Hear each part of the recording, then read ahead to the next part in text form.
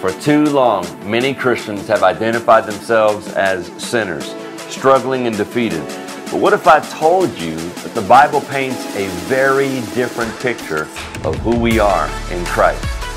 In this video, we'll unpack the one crucial change of mind that can transform your entire walk with God. We're going to look at the truth of what it means to be a new creation in Christ and how living with the mindset of being the righteousness of God can change your life.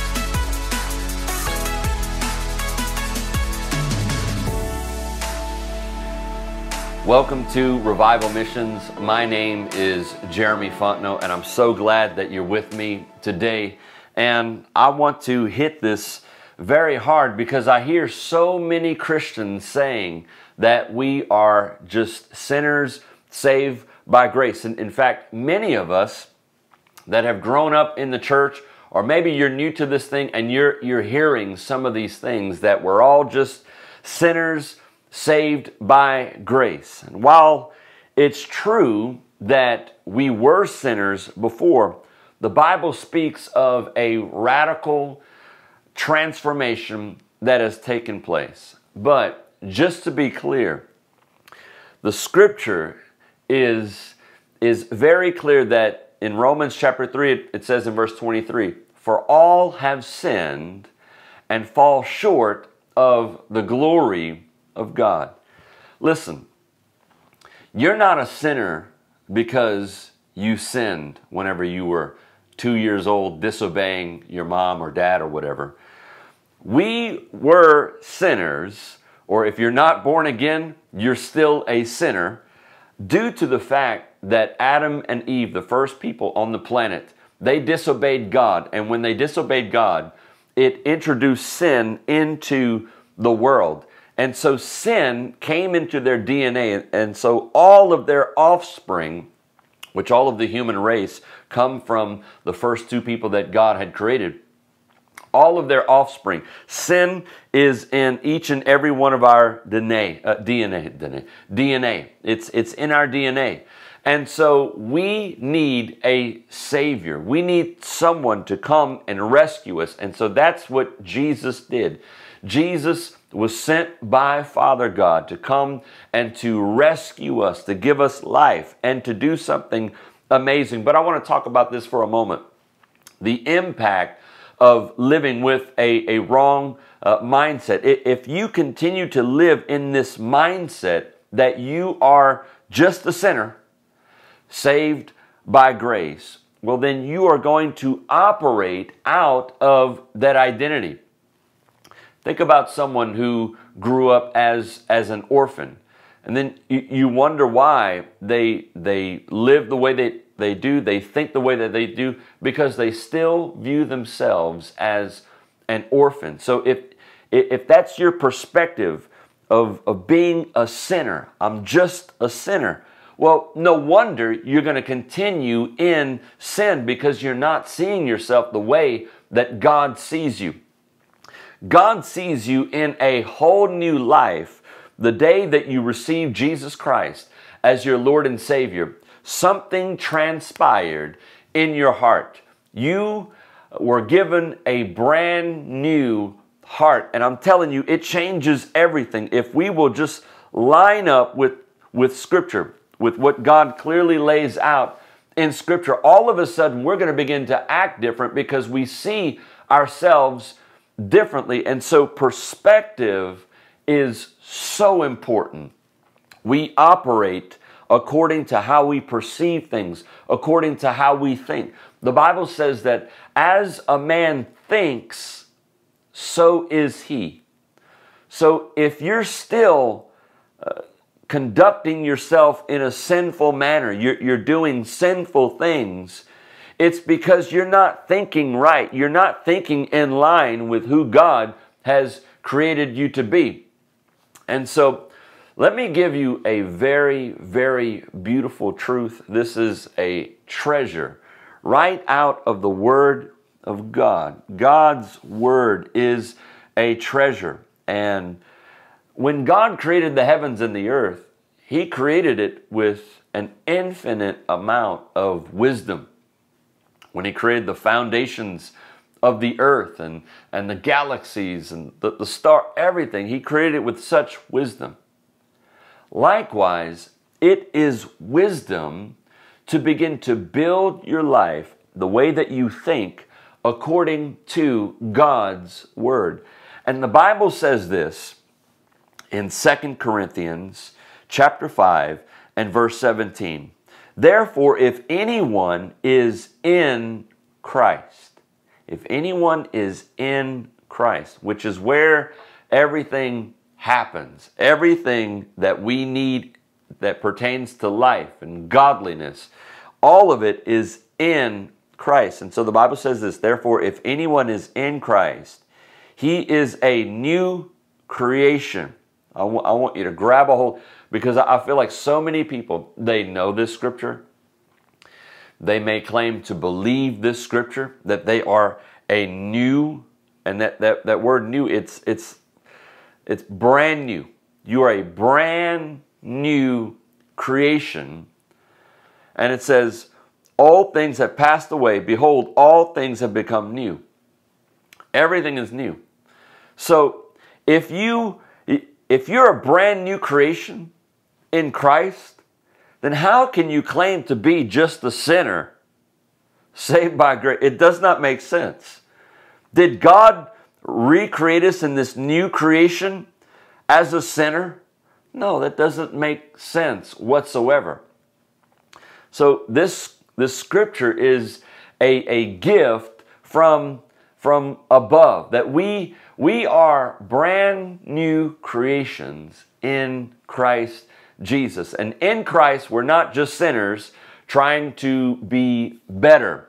We are completely new creations that have been recreated in the image of God's Son. So this isn't some sort of self improvement. This is, we are born again.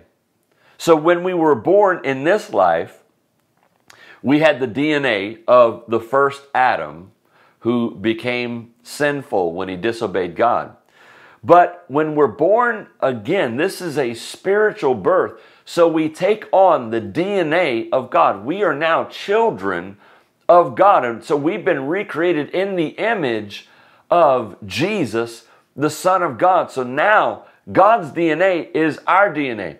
God's history is our DNA. God's identity becomes our identity. So we have a brand new identity in Christ, and it's the fact that we are brand new creations. Now, think about the analogy of a caterpillar that turns into a butterfly. Its, its nature has changed. So you don't see a butterfly crawling around on the ground any longer because there's been a, a transformation. And that's, that's how it is when we come into our new life in Christ. We are completely transformed. And if we will begin to see ourselves according to how God sees us, then we are going to walk differently. We're not going to want to sin. Why? Because that, that's beneath us. That's beneath who we are. There's so much God given potential now that we're in Christ, if we could just align our thinking with who and what God says we are. Now, the Bible says in Second Corinthians chapter 5 and verse 21 that for he made him who knew no sin, that's referring to Jesus. Jesus didn't just take on our sins. The Bible says that Jesus became sin. He who knew no sin, Jesus had never sinned whatsoever. He was perfect. So he who knew no sin, this is referring to Jesus, became sin. And of course, God poured out his wrath and punished Jesus for what you and I have done wrong. Now, why did he do this? It states that we might become the righteousness of God. That's, that is incredible. We are now the righteousness of God. That's when God looks at you, he sees you as righteous, not because of anything that you have done, but because of what Jesus Christ has done. Because of Jesus, because of the finished work of the cross, we are now the righteousness of God. So, so this is how we start out. We're not trying to attain righteousness. We are already righteous because of what Jesus Christ has done for us. So, because of Jesus, we are now righteous. We are the righteousness of God. That's who we are in Christ. So, that's how God sees you. And the sooner that you begin to see yourself the way that God sees you, the more you're going to begin to act like who you really are in Christ. And so there needs to be a renewing of our mind that takes place. The Bible says in Romans chapter 12 and verse 2 do not conform to the pattern of this world. In other words, don't, don't think and act like the culture. Instead, be transformed. Well, how does that take place? By the renewing of your mind. How does that take place? By meditating on the scriptures. I've been meditating on this fact, what it says in 1 John chapter 4, verse 4, that we belong to God. I belong to God. My life is not my own. I belong to the Lord. The Lord says, I believe it's in the book of Isaiah, it says, You are mine. And it says in Deuteronomy that we are a special treasure to the Lord. So you, you've got to begin to see yourself that God is madly in love with you. He is head over heels in love with you. He desires to spend time with you. He, he, he, he doesn't want you to get into the wheel of religious performance or anything like that, trying to attain uh, his love or anything like that. God loves you. He loves you so, so much. And if you could just receive that, stop seeing yourself as, as a sinner and start seeing you, yourself as a brand new creation, then guess what? The, the Bible says to come before the throne of God boldly. How do we do that if we just see ourselves as sinners with our heads down? When God walked into the garden with Adam and Eve in the cool of the day, there, there was no sin in, in the beginning. And Adam would look at God eyeball to eyeball there was no, there was no sin, there was no shame, there was no guilt. And so, because of that, he could commune with God. And this is where the Lord wants to take you and I. And so, transformation takes place by changing the way that we think, that we are no longer sinners. We are a brand new creation, recreated in the image of the Son of God. We are now the righteousness of God. So, listen, if this message has helped you, share it with others. Subscribe for more videos and be on the lookout as we put out more videos. We love you, and we'll see you next time here at Revival Mission.